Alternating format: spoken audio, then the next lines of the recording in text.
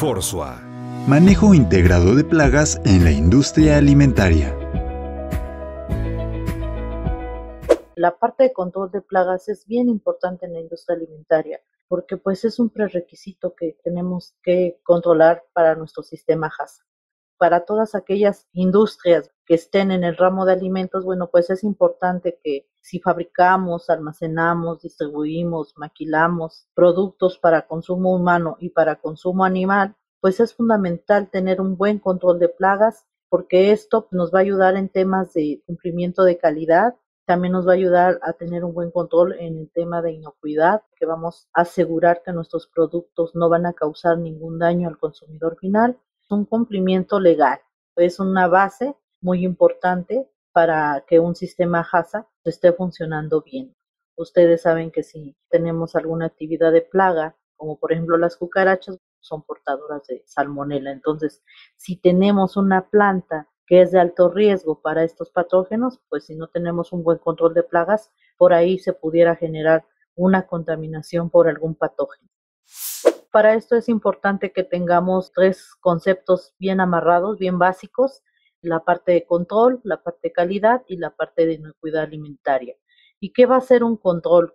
Cuando nosotros tenemos un buen manejo integrado de plagas es porque tenemos un control, tenemos toda la gestión, todas las condiciones para mantener nuestra planta libre de plagas con ciertos criterios que nosotros como planta debemos de establecer en nuestro sistema de calidad para cumplir ciertos procedimientos que tenemos ya por escritos y prevenir esta actividad de plaga en donde vamos a cumplir con esos criterios que nosotros establecemos por parte de este control que se tenga enfocado en el tema de plagas, en donde nuestro proveedor que nos da este servicio lo tiene que tener bien claro cuál va a ser el control que ellos van a meter en nuestra planta para que no lleguemos a un grado de infestación de plagas y no se vaya una plaga a nuestro cliente final o que estas plagas sean portadoras de microorganismos patógenos. El tema de calidad, bueno, pues es que tenemos que cumplir los requerimientos de nuestros clientes. Con la gente de servicio al cliente, ¿qué es lo primero que hace el cliente? el cliente les dice, a ver, servicio al cliente, yo necesito que tú me cumplas estas reglas de abasto. Y dentro de estas reglas de abasto, un tema, pues es que el producto me llegue libre de actividad de plaga, ya sea viva o ya sea muerta. No quiero que me llegue con plaga. Es como cuando nos vamos a comer, vemos ahí la mosca en la sopa y pues no, ya nos causa cierta desconfianza. Así con los clientes, cuando nosotros no prevenimos este criterio de calidad de que debe de ir ausente de plagas, que no fumigamos las unidades, que no llevo un buen control en mi instalación, pues ya no estoy cumpliendo con la calidad requerida que me pide el cliente en las reglas de abasto. La parte de la inocuidad alimentaria, debemos de tener este término en cascada desde la gente que hace la limpieza hasta la alta gerencia, que el término inocuidad debe de ser nuestro lenguaje en planta cuando estamos o cuando participamos en un eslabón de la cadena del producto. Nosotros desde nuestras actividades, desde que el personal de vigilancia deje entrar a los transportistas, a los que descargan, a los que cargan producto terminado, a la gente que ingresa a planta, tenemos que garantizar o tenemos que asegurarnos de que ninguna de nuestras actividades va a causar un daño a nuestro consumidor final en un alimento que va a llevar cierta preparación por parte del consumidor o en un alimento que ya vaya directo para su consumo. El control de plagas tiene que cumplir con la parte de inocuidad, con la parte de calidad y con la parte legal. Para eso nosotros como plantas procesadoras de alimentos, ya sea que fabriquemos, maquilemos, empaquemos, tenemos que cumplir con estas tres normas. ¿Qué tenemos que tener en nuestro programa de control de plagas? A mí el proveedor del servicio me tiene que dar a conocer un procedimiento de cómo va a ser el manejo integrado de plagas por parte de él, cuáles van a ser los controles, cuáles van a ser los protocolos. Y yo como planta interna tengo que tener un procedimiento donde yo también establezca todos aquellos lineamientos, todos aquellos protocolos que yo voy a cumplir como planta en conjunto con mi controlador de plagas. Todos nuestros procedimientos tienen que ir referenciados con normatividad, con referencias científicas. Estas tres normas aplican para nuestros procedimientos internos de control de plagas, porque yo soy la primera persona que debo conocer la normatividad para yo detectar alguna mala práctica que traiga mi controlador externo.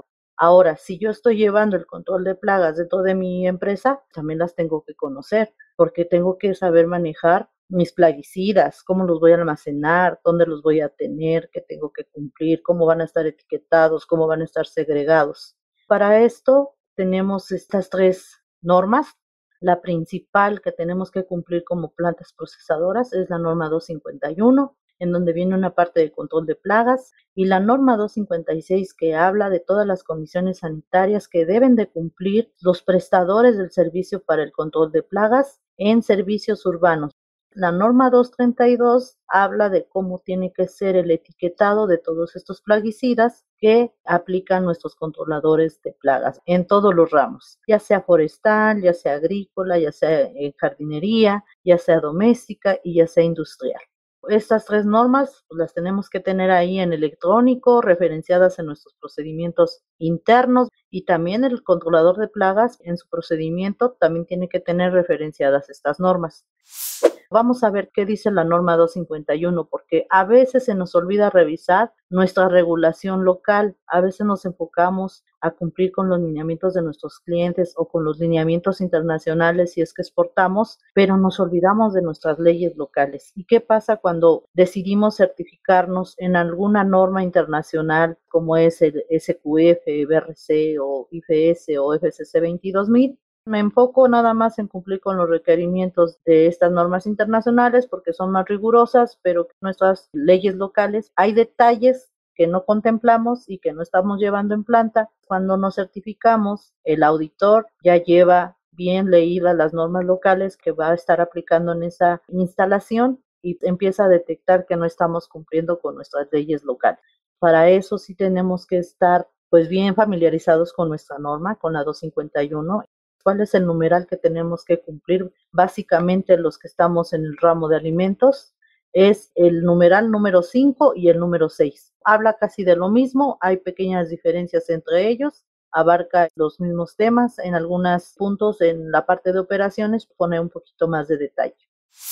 Nos vamos a enfocar en el tema de plagas. Del numeral 510 al numeral 515 habla de todo lo que es plagas. El control de plagas es aplicable a todos los establecimientos, incluyendo el transporte de alimentos y bebidas o suplementos alimenticios. Tiene que estar incluido en el control de plagas desde que la materia prima me llega por parte del proveedor hasta que mi producto terminado yo lo mando a mi cliente.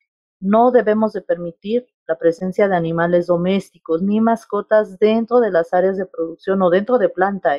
La norma sí es clara y sí nos dice que no debemos de tener ninguna presencia de animales domésticos ni mascotas. Si les llegan a encontrar un gato o un perro, lo van a penalizar, lo van a marcar, porque así lo pide la ley local. También dice que tenemos que tomar medidas preventivas para reducir las probabilidades de infestación y también tenemos que limitar el uso de plaguicidas. No nada más es que el controlador de plagas vea una actividad de plaga y las mate, no se trata de eso control de plagas se trata de que seamos preventivos y que tengamos un programa bien estructurado. Lo último que debemos de hacer es hacer aplicaciones con plaguicidas. También la norma nos dice que debemos de tomar medidas preventivas para reducir las probabilidades de infestación y de esta forma vamos a limitar el uso de los plaguicidas. Tenemos que evitar en los patios alrededor de las plantas tener ahí condiciones que puedan ocasionar o sean atracción para las plagas en donde puedan proliferar, maleza crecida, tenemos agua encharcada, tenemos equipo en desuso que tenemos ahí arrumbado, no lo acomodamos bien, lo tenemos directamente con el piso. Entonces, acuérdense que las plagas siempre van a buscar refugio y entre más refugio cercano tengamos a la planta, más somos susceptibles de que se nos meta una plaga. Sí tenemos que vigilar mucho esto, los drenajes en tiempo de lluvias o de vientos pues se llegan a tapar, se llega a acumular ahí la basura. Los drenajes también se tienen que fumigar. Si estamos en una ubicación, en una ciudad, por el drenaje nos pueden entrar muchas plagas, principalmente los roedores y las cucarachas. Y entonces estos drenajes también piden la norma que deben de estar cubiertos apropiadamente para evitar la entrada de la plaga. Hay tres plagas de las cuales nos tenemos que proteger y tenemos que proteger nuestra instalación. Básicamente son las aves, los roedores y las cucarachas. porque son plagas que van a competir con nosotros como seres humanos por la búsqueda de agua y alimentos. Ellos, donde vean un espacio en donde ellos se pueden desarrollar o se pueden posar, pues van a causar ahí un daño, una infestación. Por ejemplo, las aves empiezan a emigrar por el clima, donde ven una estructura donde pueden pasar la noche, ahí se empiezan a posar, dejan todas las excretas y recuerden que mediante las excretas ahí va la salmonela. Si estas aves se posan en los techos y luego en mi techo no le doy un mantenimiento preventivo y tengo fisuras que van al área de proceso, seguramente vamos a tener un vector y se va a dar la parte de enfermedades transmitidas por alimentos. ¿Cuáles son? Esos patógenos que pueden transmitirnos las plagas, principalmente la salmonela, la Escherichia coli, la tuberculosis y la influenza. ¿Qué nos dice la norma? Tú tienes que tener instalaciones y áreas con un buen acabado sanitario, que estén limpias, que sean fáciles de limpiar, las uniones de los pisos paredes no tengan fisuras, que no tengan grietas. Cuando llega a temblar, pues empiezan a separar el piso de las paredes y bueno, hay que estar ahí resanando. Entonces, entre mejor tengamos nuestras instalaciones y áreas y sean de fácil limpieza, mejor control vamos a tener para evitar la entrada de plaga y si entra, pues rápidamente la vamos a visualizar. La norma en el 513 nos menciona que lo que son puertas y ventanas tienen que estar protegidas porque esto nos va a prevenir que nos entre fauna nociva.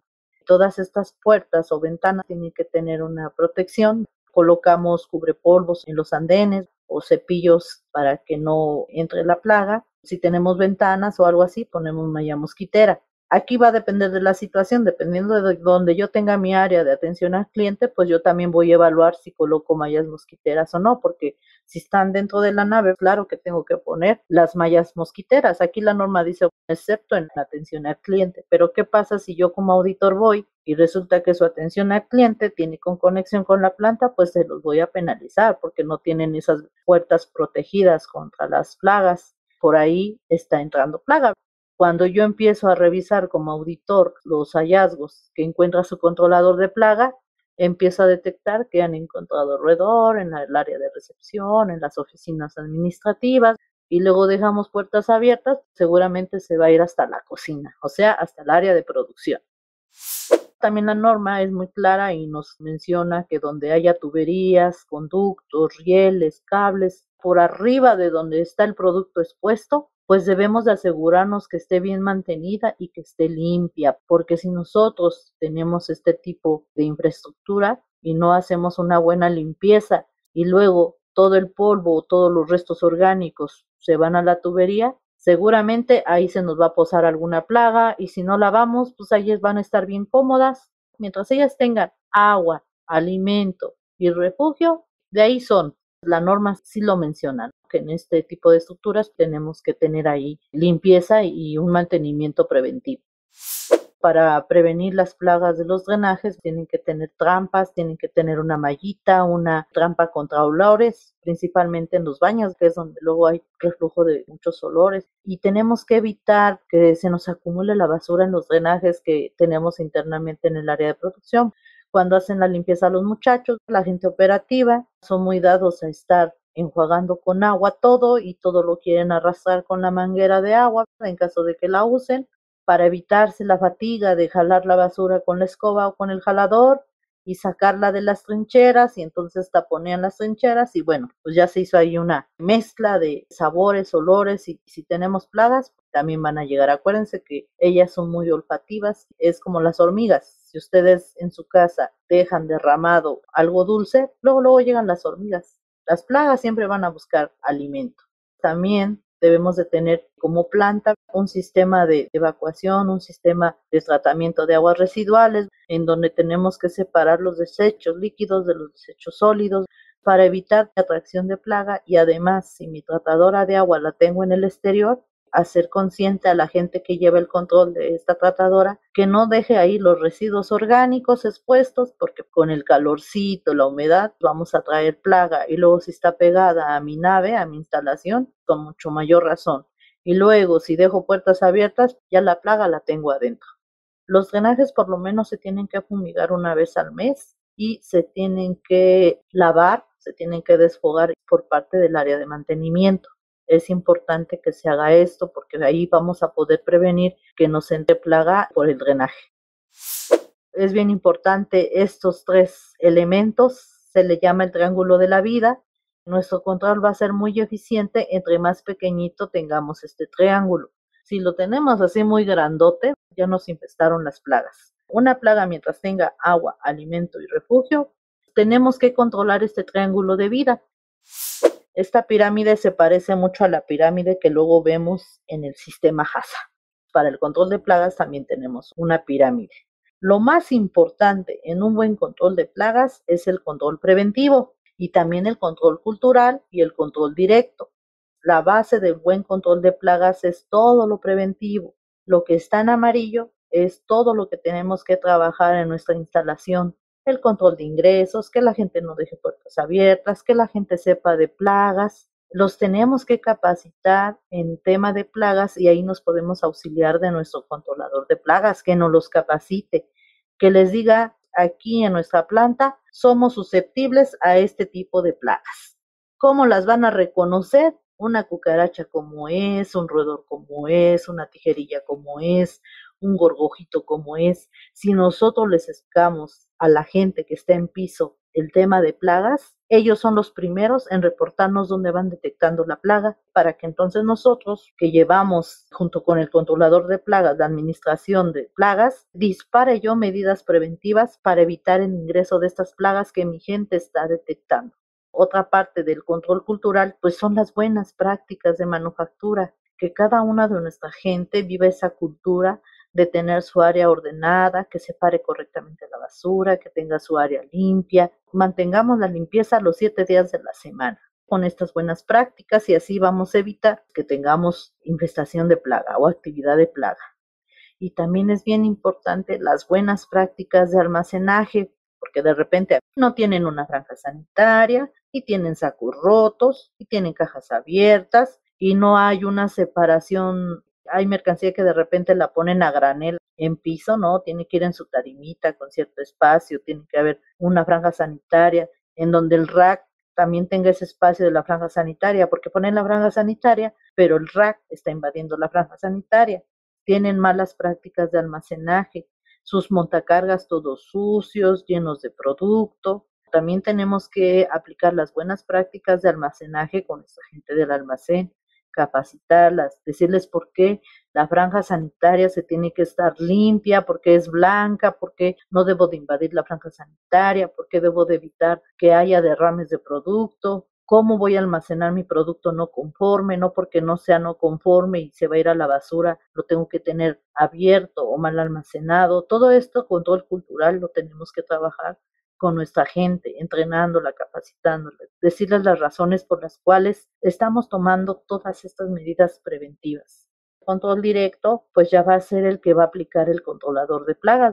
Para esto, lo que podemos hacer es utilizar métodos biológicos, los métodos físicos y lo último que debemos hacer para tener un buen control de plagas es aplicar los plaguicidas. La norma lo dice, veces nosotros como plantas de alimentos le delegamos toda la responsabilidad al controlador del servicio y él me tiene que garantizar que aquí en la planta no debe de haber plagas. Pero el manejo integral de plagas es una actividad casada con el controlador es una estrategia que nosotros vamos a implementar o vamos a robustecer o vamos a mejorar en conjunto con mi controlador de plagas, donde vamos a tener diferentes técnicas de control. Las mías van a ser preventivas y culturales y mi controlador de plagas va a ser su estrategia directa porque me va a decir dónde tengo áreas de oportunidad, me va a informar qué actividades estoy teniendo en las trampas mecánicas, en las trampas de luz, qué tipo de plaga está encontrando, cómo se está comportando la tendencia, qué tenemos que hacer, si mis lámparas de luz están funcionando correctamente, si están atrayendo la plaga o qué está haciendo mi gente que hace que se esté atrayendo la plaga. Todo eso lo va a llevar el control directamente el controlador de plagas, pero me tiene que informar y yo como cliente, bueno, pues le tengo que dar seguimiento. En la pirámide es como el semáforo. Nuestro control preventivo va a ser casado con el controlador de plagas. Nuestro control cultural es responsabilidad mía, yo tengo que trabajar con mi gente y ya el control directo, un 30% es de nuestro controlador de servicio de plagas. Solo así vamos a lograr un buen programa integrado de plagas.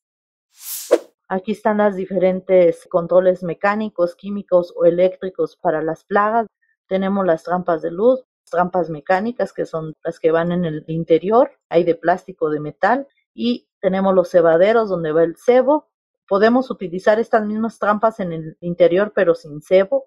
Tenemos las cortinas hawaianas que podemos colocar y las cortinas de aire en donde haya mayor flujo de personal y los guardapolvos en las partes bajas de las puertas o en las cortinas, ya sea que utilicen cepillos o guardapolvos, porque luego la gente del almacén, a la hora de que bajan la palanca mecánica para la rampa, no la cierran bien o se va dañando y ahí queda el claro de luz.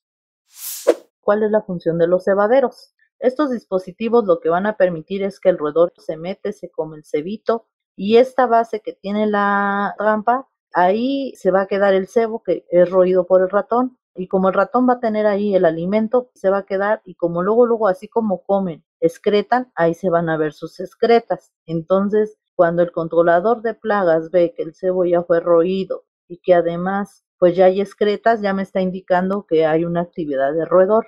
¿Qué tengo que hacer yo como controlador de plagas o yo como cliente? pues buscar el caminito por donde me está llegando el roedor. Tengo que ir a las siguientes estaciones para ir viendo dónde está la actividad. Y además, este tipo de cebaderos tienen una llave especial que la debe de tener el controlador de plagas, pero también nosotros como cliente, la persona que lleve el monitoreo de control de plagas por parte de la planta, tiene que tener esta llavecita y lo tiene que capacitar el controlador de plagas para enseñarle las cuestiones básicas que tiene que cuidar porque de repente nos llegan auditorías sorpresas o nos puede visitar la Secretaría de Salud. Entonces no hay como tener una llave para que si tenemos visita sorpresa o un cliente nos quiere revisar nuestras trampas porque se quiere asegurar que tenemos un buen control de plagas, pues esta llavecita especial la tiene que tener una persona autorizada para poder abrir, pero eso sí, cuando manipulen estas trampas deben de colocarse guantes. Este cebo es un anticoagulante, nos tenemos que proteger también nosotros a la hora de manipular ese cebo. Esa es la principal función de este cebadero. Esta trampa la pueden poner en las entradas de las puertas en la parte interna, porque si hay una actividad de rata, las ratas son más grandes y los ratones son más pequeños. Estas trampas yo las tengo en la parte interna.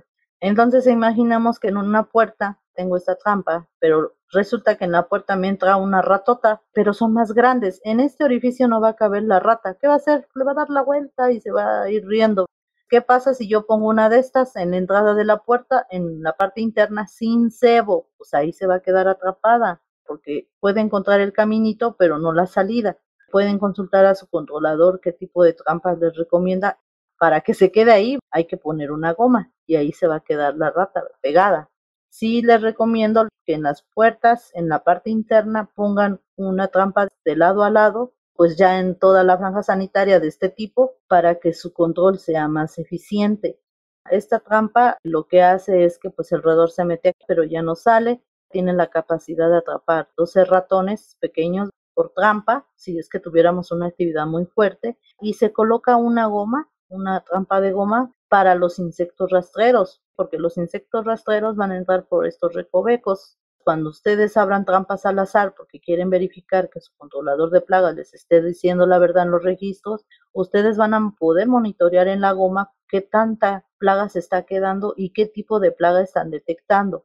La trampa de goma, el técnico que les da el servicio le ponga su nombre y la fecha, porque a veces los controladores de plagas los ven en buenas condiciones, en teoría, y no cambian la goma. Si una de las gomas se nos humedece, si una de las gomas se llena de polvo, ya no va a cumplir con su función. Entonces, la persona que lleva el control interno tiene que revisar que esa goma se le están cambiando y que esté libre de polvo. Tenemos que hacer verificaciones al azar del servicio de control de plagas. Si el servicio técnico me está dando el servicio y yo en ese momento lo puedo acompañar un ratito, lo acompaño, veo cómo está trabajando, al azar, yo me doy un recorrido en la planta y voy a ver si realmente me dio el servicio como debe de decir.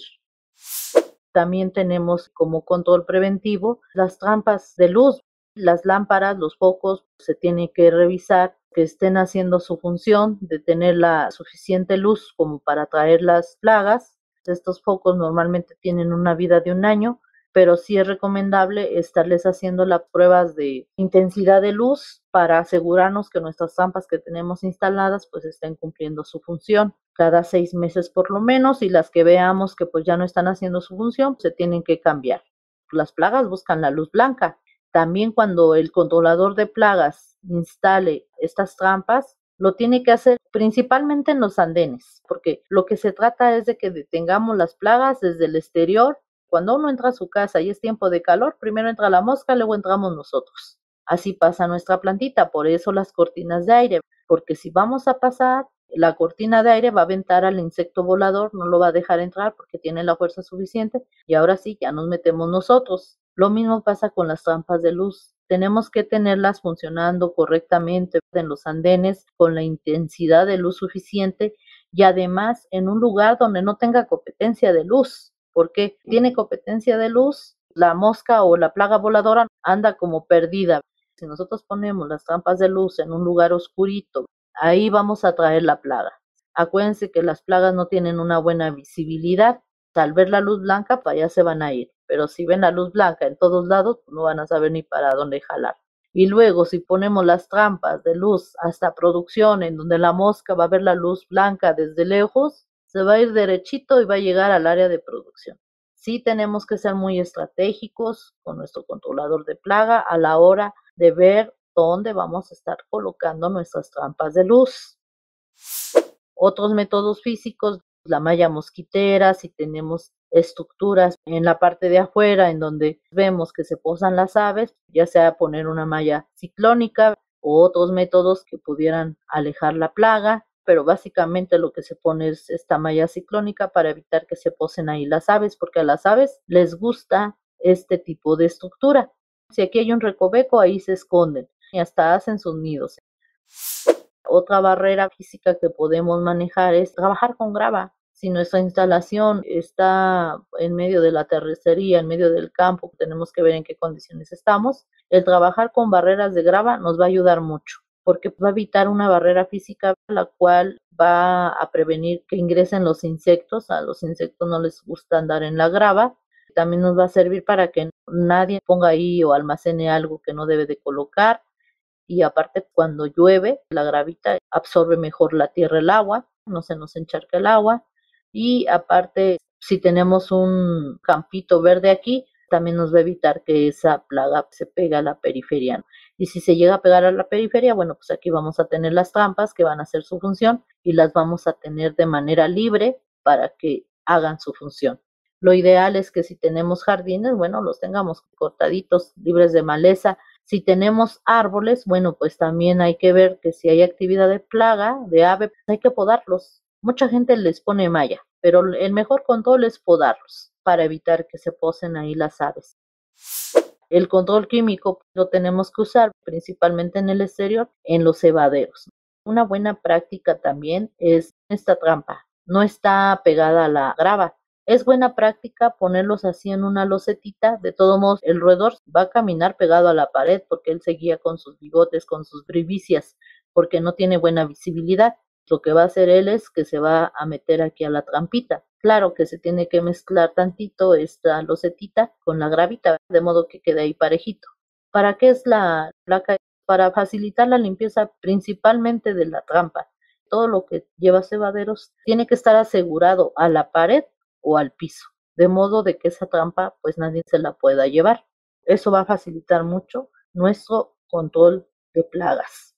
El cebado no se puede incluir en el interior, tiene que ir solamente en el exterior. Cebos adentro no debe de haber.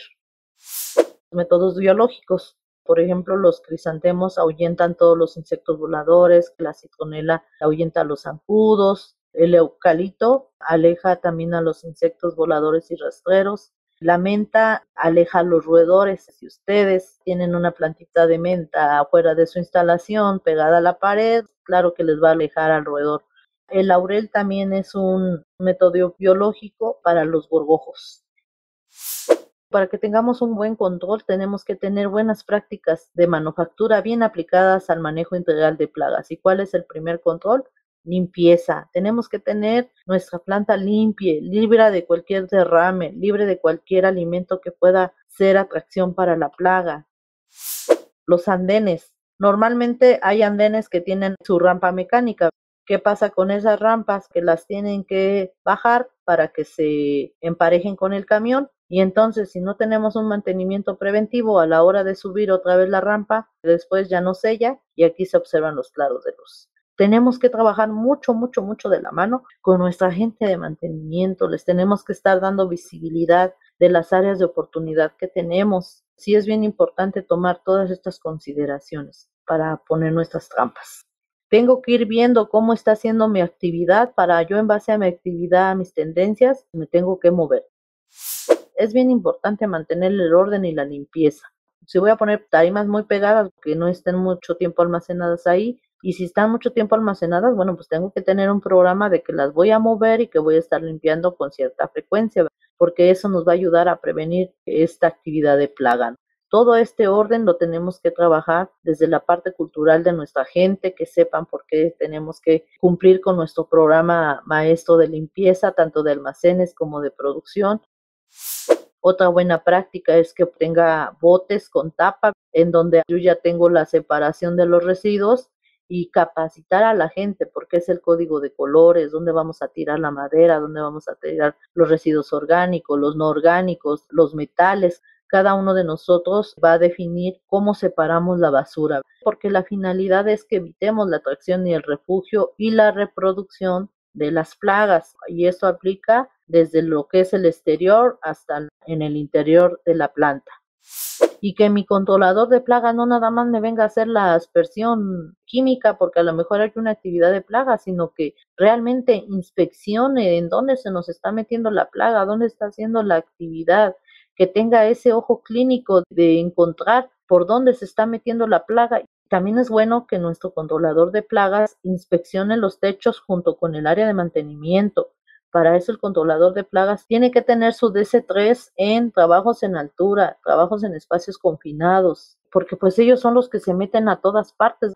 Es bueno ir a revisar el techo con toda la seguridad posible, con su arnés, con todo lo que ustedes tengan implementado en el tema de seguridad ocupacional. Sí es bueno que revisen toda la infraestructura, tanto en el interior como en el exterior para detectar ahí áreas de entrada de las plagas. Los montacargas, otro punto bien importante y que entran las buenas prácticas de almacenaje. Tenemos que tenerlos limpios, que no tengan derrames de la uña, porque luego con las uñas llegan a dañar el producto y aparte si somos un almacén de distribución no trabajan los tres turnos. Esos montacargas se quedan estáticos en cierto tiempo. Lo importante es que tampoco invadan la franja sanitaria o la línea sanitaria, que es lo más importante que tenemos que trabajar con nuestra gente del almacén. Todo lo que nos llega de proveedores lo tenemos que inspeccionar antes de que ingrese su producto a nuestra planta, porque las plagas pueden llegar por parte de nuestros proveedores. Tenemos que inspeccionar bien la unidad, tenemos que inspeccionar el producto, que venga ahí íntegro, que no venga dañado, que no venga actividad de plaga en el camión, que el camión tenga un acabado también sanitario, que no tenga ahí recovecos o daños en las paredes o inclusive en el piso. Tenemos que revisar con lamparita. Es una muy buena práctica andar revisando con lámparas para controlar esa actividad de plaga. También es importante que cuando nosotros despachamos nuestro producto, lo inspeccionemos, que no vaya con plaga, que la tarima vaya en buenas condiciones y que el camión donde yo lo voy a cargar, bueno, pues que esté fumigado, que esté limpio. Lo mismo que le hago a mi proveedor, tengo que garantizarlo para mi cliente porque si utilizamos transportes tercerizados y dan servicio a varias plantas, también tenemos que asegurarnos de que el camioncito que nos está dando el servicio viene fumigado, viene limpio y libre de cualquier actividad de plaga. Es importante que si tenemos transportistas que nos dan servicio y que son líneas con las que ya tenemos contratos, es importante darles una capacitación nosotros como conocedores de lo que es el manejo de control de plagas. Y aparte, a la persona que administra esa línea, quiero que capacites a tu personal en estos temas. Y así amarramos la parte del el control cultural. Es bien importante, así como revisamos las materias primas, que las devoluciones de nuestros clientes no vengan con una actividad de plaga. Tengo que revisar las devoluciones que me está regresando mi cliente, porque si fue un producto no conforme, pues yo ya no supe dónde lo tiene almacenado, yo no sé si tiene un buen control de plagas. Tengo que hacer la misma inspección, revisar el transporte, la integridad del producto, que no venga con actividad, ya sea plaga viva o muerta. Plaga viva es actividad de plaga. Plaga muerta es limpieza. Cuando nosotros hacemos una aplicación en los almacenes, una termonebulización, normalmente lo que hace la plaga es que se va a morir a la franja sanitaria. Es una buena práctica que yo en cada aplicación o termo que haga me dé una vuelta con el controlador de plaga para ver qué tipo de plaga se está quedando en la franja sanitaria y ver quiénes están ingresando a mi instalación y entonces ahora sí hacer la limpieza, porque también es importante que si yo hago la termo en el almacén, tengo que también hacer la limpieza, porque luego va uno a auditarlos, resulta que les encuentra uno la plaga muerta, que encontramos cucarachas muertas. Si no tenemos una buena limpieza también de toda nuestra franja sanitaria o cuando hacemos las termos, por ahí también nos van a detectar qué actividad de plaga estamos teniendo en nuestra instalación. La madera. Si ustedes son plantas que utilizan tarimas nuevas y tratadas, sin problema. La gran mayoría de las industrias alimentarias utilizamos tarimas de segunda mano. Esas personas que se dedican a recolectar tarimas de segunda mano, vayan a saber de dónde se las traen. Las tienen así, en estas condiciones, no tienen un control de plagas, las tienen a la intemperie, y entonces, cuando a mí me llega tarima, también la tengo que pedir a mi proveedor de tarimas que me las traiga fumigadas. La tengo que inspeccionar como una materia prima con lamparita, que no venga plaga muerta o actividad de plaga. Darle la revisada en los cuatro lados de la tarima. Y si es posible, moverla tantito o azotarla un poquillo. Acuérdense que cuando ustedes mueven algo, la cucaracha es bien sensible y luego, luego, luego sale corriendo o los gorgojillos igual, o con el barrenador o las termitas. Cuando una tarima presenta muchos orificios en la madera, señal de que o tuvo termita o trae termita. ¿Cómo podemos prevenir? Pedir las tarimas fumigadas o yo misma decirle a mi controlador de plagas que me les haga una aspersión dirigida antes de que entren a mi planta para tener un mejor control. Inspeccionar los camiones a la descarga y a la carga. Y bueno, en resumen, ¿Qué nos dice la norma 251? Que tengamos nuestras instalaciones libres de maleza, agua encharcada, puertas cerradas, limpieza en las áreas.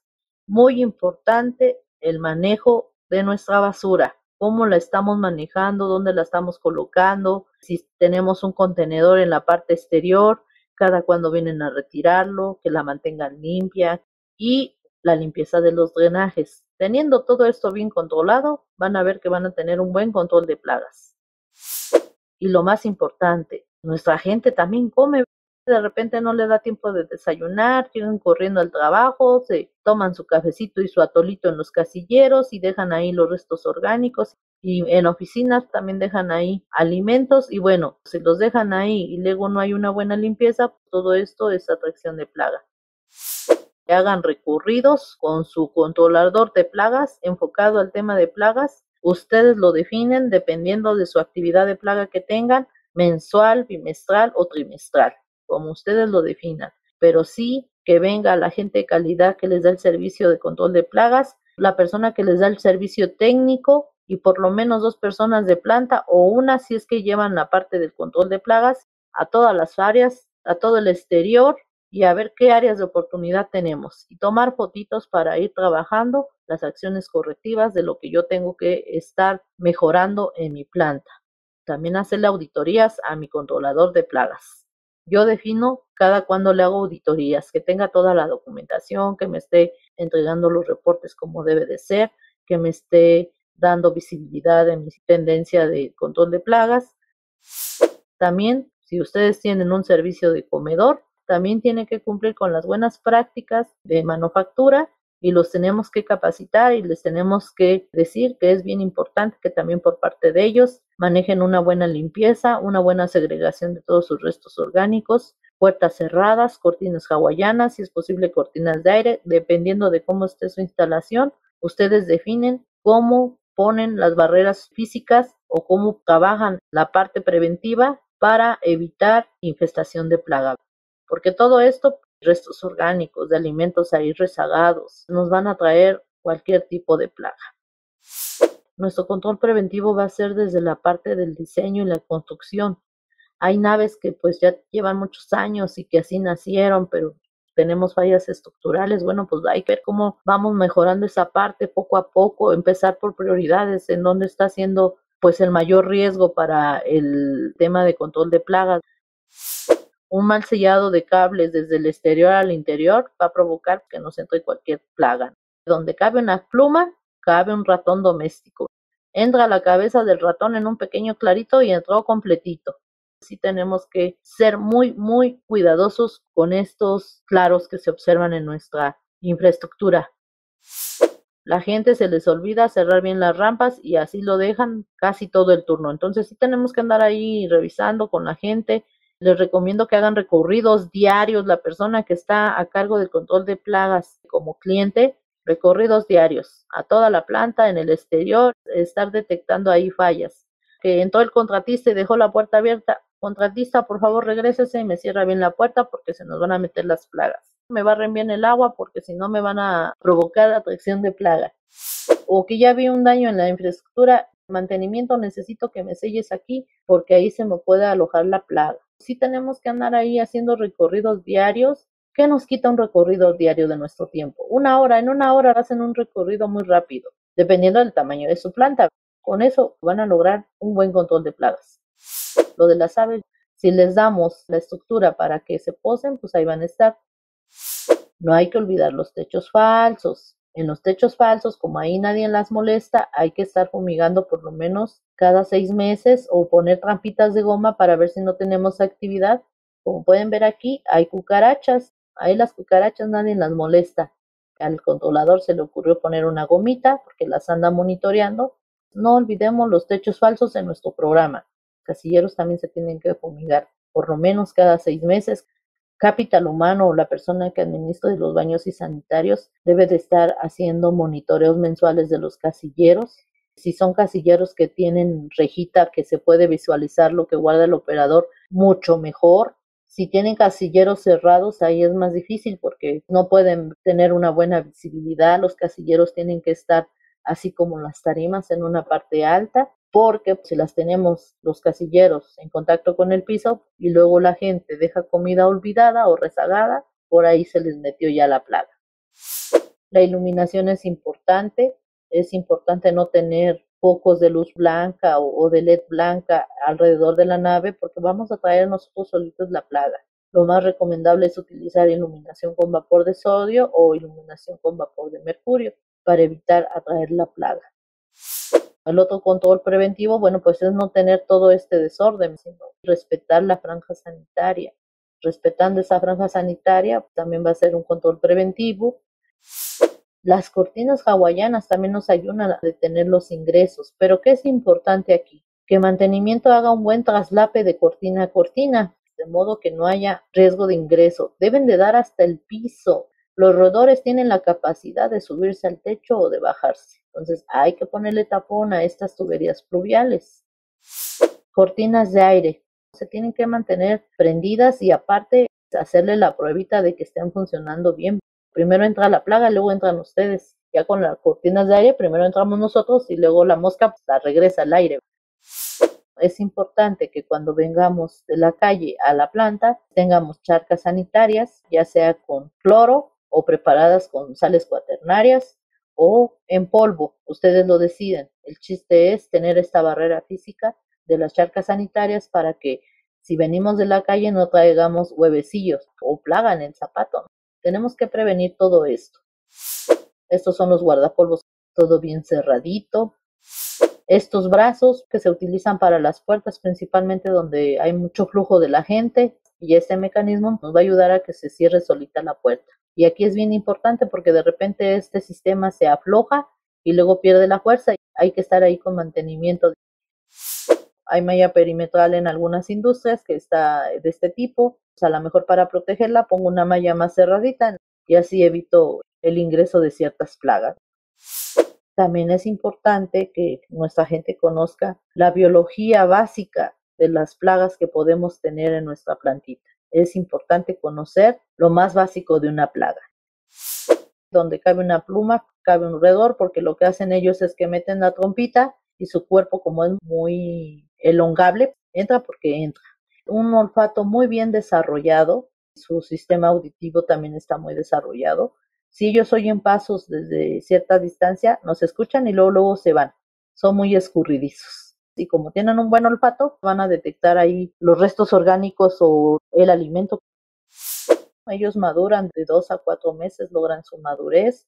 Los ratones duran de tres a cinco años, las ratas de uno a dos años y su proceso de gestación es de 1 a 25 días. Cada camada es de 8 a 12 ratones. De modo que si yo hago un cálculo de una pareja hembra y un macho, en un año puedo tener 7000 ratas. Es importante que también sepamos detectar actividad de plaga. Si vemos cables que están roídos, vemos excretas, vemos orines, hay lámparas ultravioleta que detectan la orina del roedor, pues ya son signos de que tenemos ahí la actividad de plaga. Las moscas, por eso les decía yo, es importante el control de sus residuos orgánicos, que tengan sus botes de basura con sus tapitas, que no tengamos acumulación de producto orgánico, porque las moscas ponen sus huevecillos en los restos orgánicos, son blancos en forma de racimo, son de 100 a 120 los racimos. El primero es huevo, es blanco, después pasa larva, esta larva pasa por tres estadios, y luego se pasa a su estado en forma de pupa. Tiene forma de barril, tiene un tamaño de 8 a 10 milímetros y esta no se alimenta, no se mueve y si ustedes fumigan, no le van a hacer nada. Resiste los plaguicidas. Y entonces cuando ya la pupa eclosiona, ya sale la mosquita, evita la luz en ese momento. Una vez que pasa este tiempo, pues ya se vuelve activa.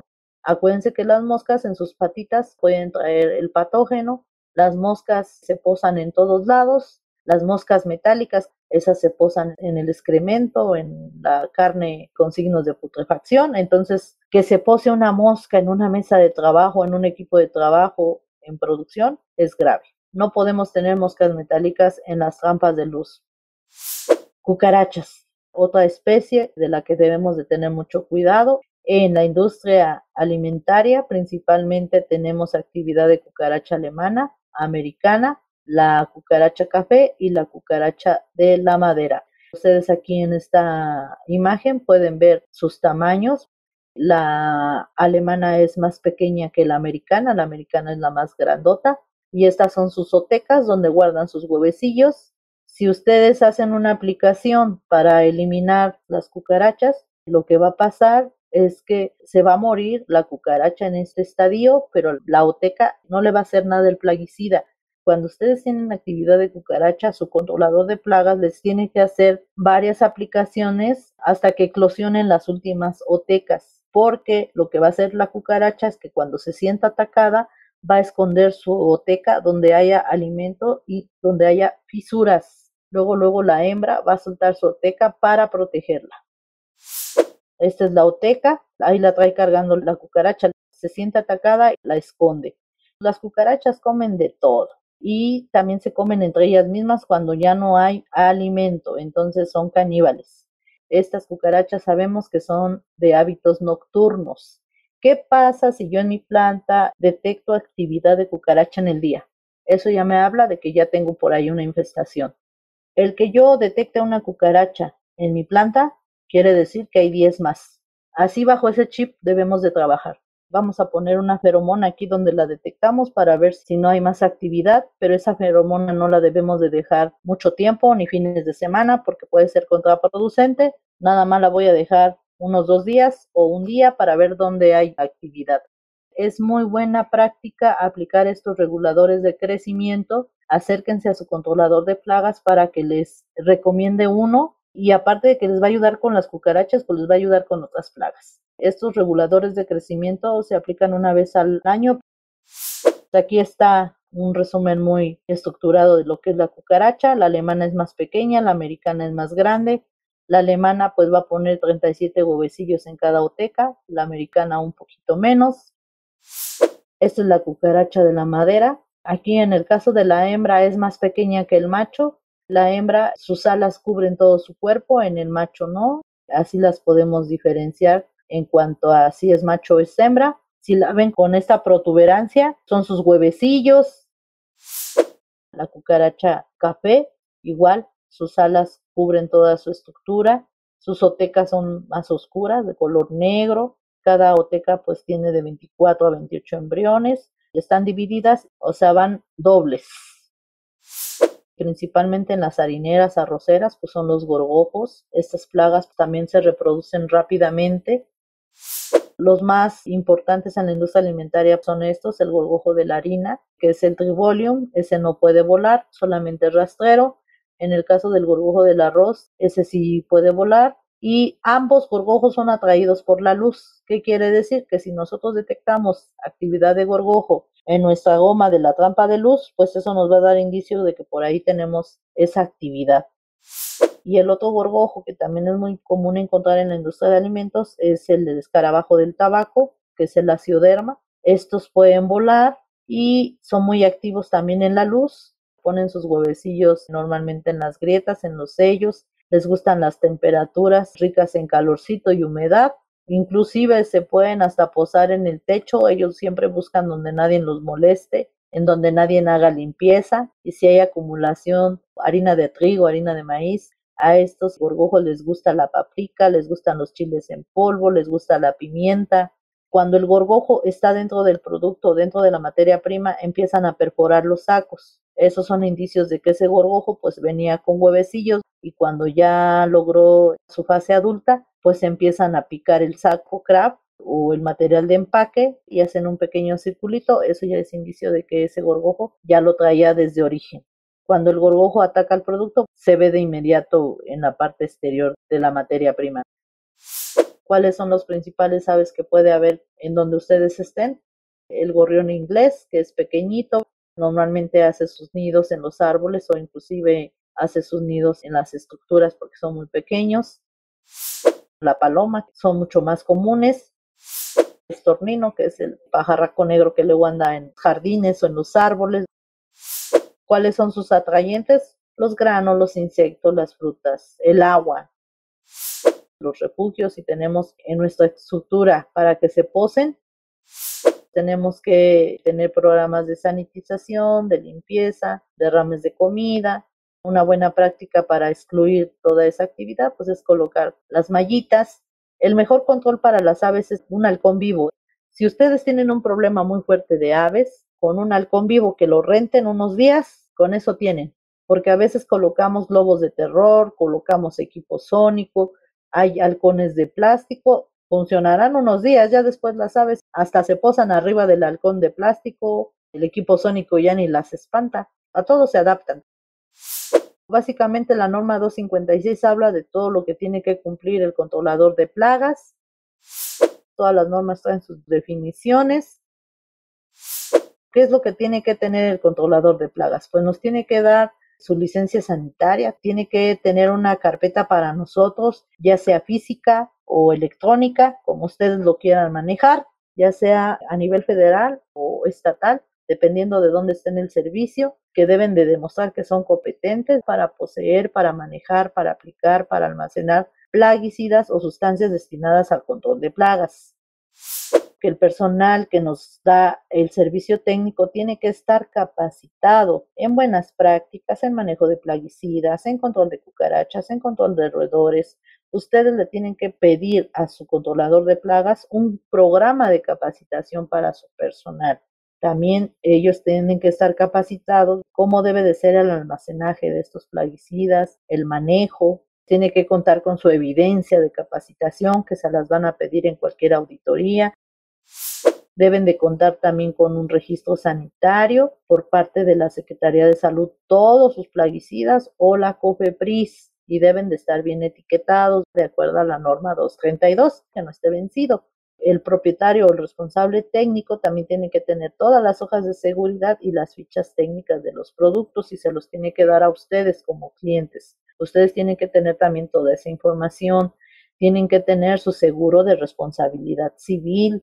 Si nosotros tenemos un tema por contaminación en plagas, el controlador también se tiene que ser responsable de cargar también con los gastos que implique alguna infestación de plaga en alguno de nuestros productos o en nuestra planta. Tienen que contar con el layout de las trampas, de todas.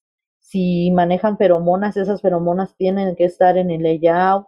Si manejan dispensadores que van dispensando piretrina natural en ciertas zonas como parte del control, también ese dispensador tiene que estar en su layout. Ese layout tiene que estar firmado por el cliente y por el controlador tienen que tener su lista de plaguicidas que van a aplicar ellos en sus instalaciones, firmado tanto por ustedes como por ellos, su rotación de plaguicidas, tienen que tener cuál es su dosis a la cual la están aplicando, aparte de que vengan en los reportes. Todo eso lo tienen que estar autorizando ustedes como clientes. Tienen que tener su contrato del servicio y en ese contrato debe de estar descrito el servicio que les están dando qué tipo de plaga les van a controlar, qué cuidados deben de tener en temas de inocuidad, qué plaguicidas están manejando, cada cuándo van a hacer sus servicios semanales, quincenales, mensuales. El contrato tiene que decir bien las cláusulas en cuanto al servicio, en cuanto al cumplimiento legal y en cuanto a temas de inocuidad. El registro sanitario tiene una vigencia de cinco años. Si el auditor les detecta que este es del 2011, ya no cumplen porque no está vigente tienen que tener vigentes sus registros sanitarios. Estas son las hojas de seguridad. Acuérdense que ya van con pictogramas para tener los cuidados en su manejo. La norma también les dice la 256 que los controladores de plagas deben de tener un transporte exclusivo para el traslado de sus equipos, de sus plaguicidas. No pueden andar en los camiones transportando su equipo y sus plaguicidas. El transporte debe de estar rotulado con su razón social y sus teléfonos de la empresa. Y el controlador de plagas les tiene que aplicar nada más lo que tenga que aplicar y que sea de uso urbano, doméstico o de jardinería.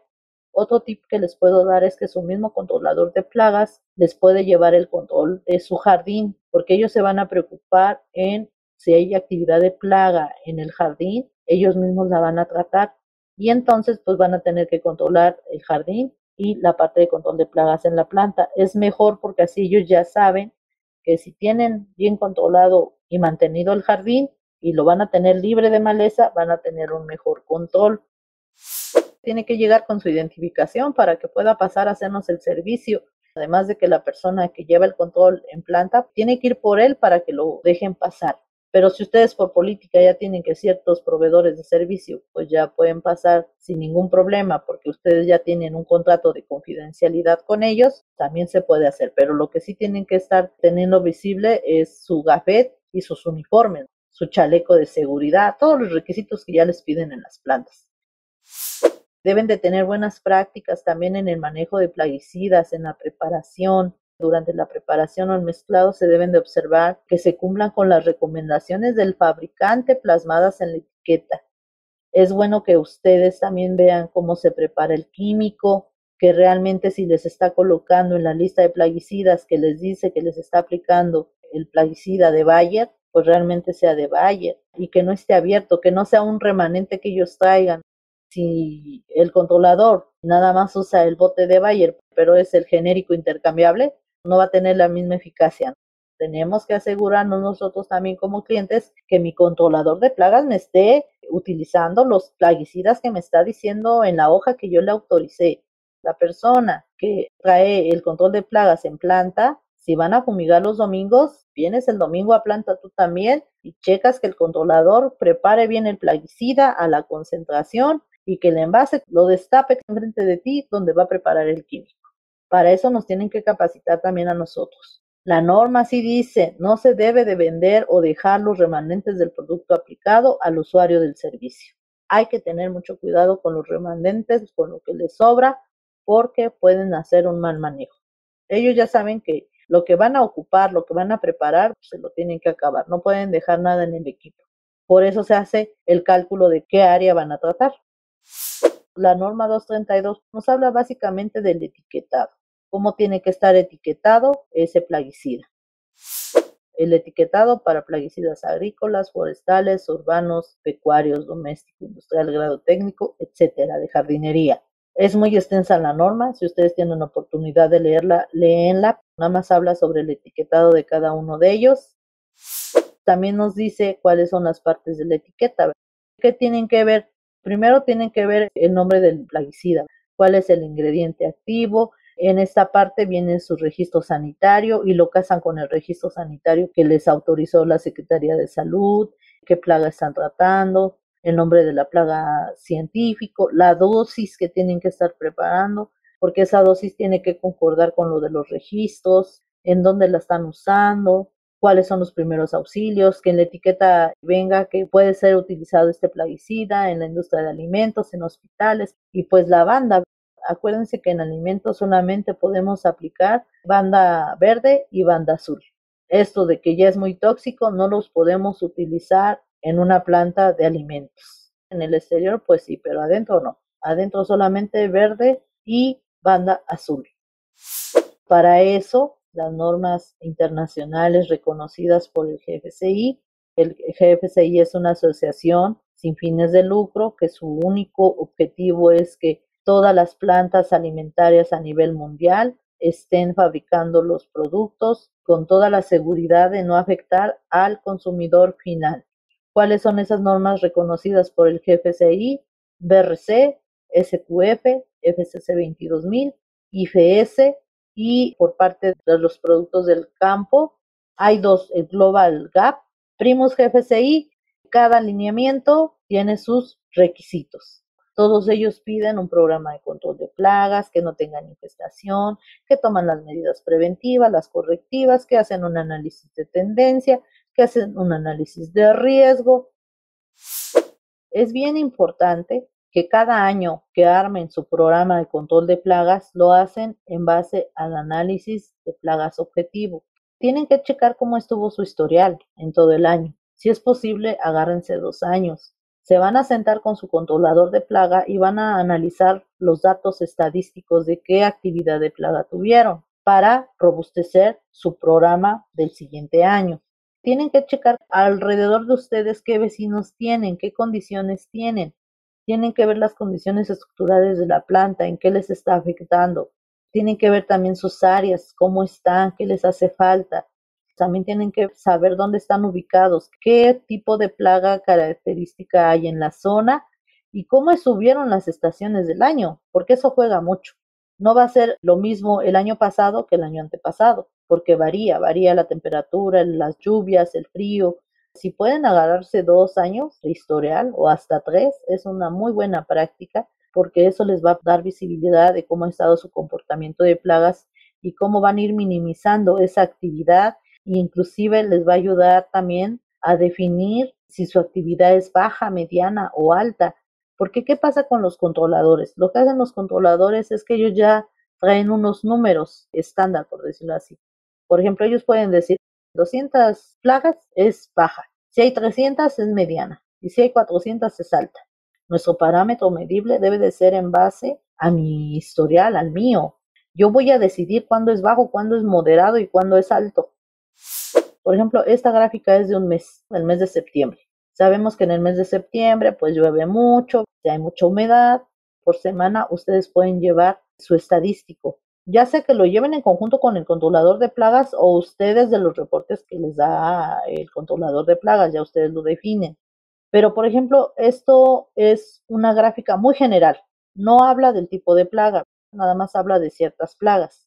Por ejemplo, en el tema de insectos voladores, ahí yo no estoy poniendo especies, solamente lo estoy viendo primero de manera muy general, como estado. Por ejemplo, en septiembre tuve insectos voladores en mayor cantidad en la primera semana de septiembre tenía esta cantidad, la segunda semana se comportó igual, en la tercera ya se me empezó a disparar y en la cuarta se me disparó más. No tuve captura de roedores, solamente tuve un consumo en la semana 1, ya después ya no tuve. Tuve gorgojos en la última semana. Los gorgojitos les gusta la humedad, el calorcito húmedo. Lo vemos reflejado, ¿verdad? ¿Cuál es mi principal problema? Los insectos voladores. ¿Qué tengo que trabajar para mis insectos voladores? ¿Por qué tengo tanta actividad? ¿No están funcionando las trampas de luz? ¿Tengo claros de luz? ¿Qué está pasando que me está provocando esta actividad? Esta misma gráfica que yo les mostré de septiembre, yo lo manejé primero de manera muy general. Entonces ahora sí me voy ya a las especies. ¿Quién me está elevando el número? Los mosquitos, ¿ya vieron? Esto me va a dar pie a ver dónde tengo que trabajar. Y es así como tenemos que ir revisando nuestro historial mes con mes, cómo estuvo, cómo estuvo todo el año. Lo pueden hacer mes con mes, semana con semana, así como se los mostré. Y luego hago un anualizado.